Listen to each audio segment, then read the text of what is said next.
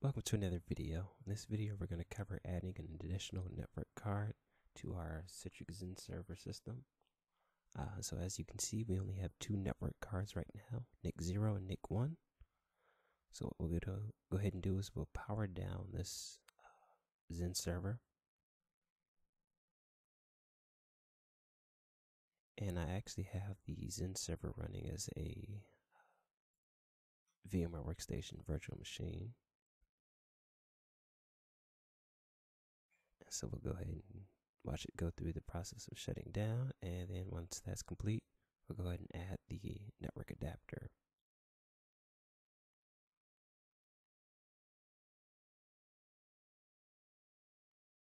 All right, now that the virtual machine is powered off, uh, we'll go ahead and modify the settings and add a third network adapter. Uh, I'll go ahead and modify the settings for my particular setup. And we'll go ahead and power back on the virtual machine.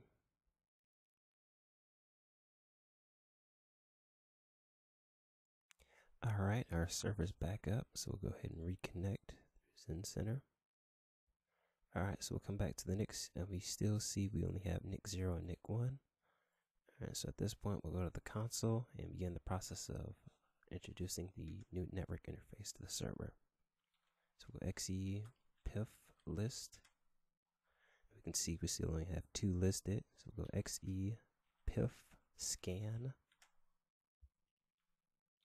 And then it's asking for the host ID. In this case, we only have one host in this pool. So go ahead and run that xe pif dash list.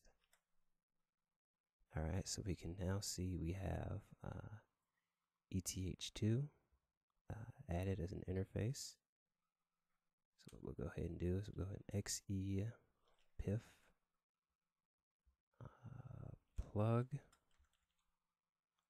and it asks us for the UID and we'll go 9A we use tab completion to finish the rest so we'll go ifconfig dash A and we can see here ETH2 and it's also added uh, a Xen bridge too. So go ahead and check the NICs. All right, NIC 2.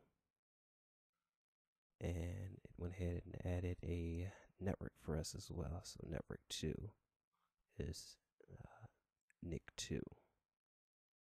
All right, so this video has covered uh, adding a an additional network interface to your Citrix XenServer.